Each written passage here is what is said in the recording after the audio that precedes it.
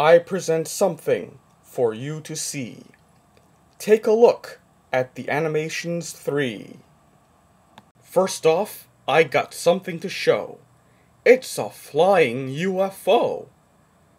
Just look at it fly, look at it go. Where did it come from? I don't know. Next off, it's a cute little rabbit. Eating carrots and hopping is its habit. Gosh oh golly, what a sight! It's got beady eyes, and its fur is white. Finally, there's a cute little squirrel. This first attempt can make anybody hurl. I knew something all along.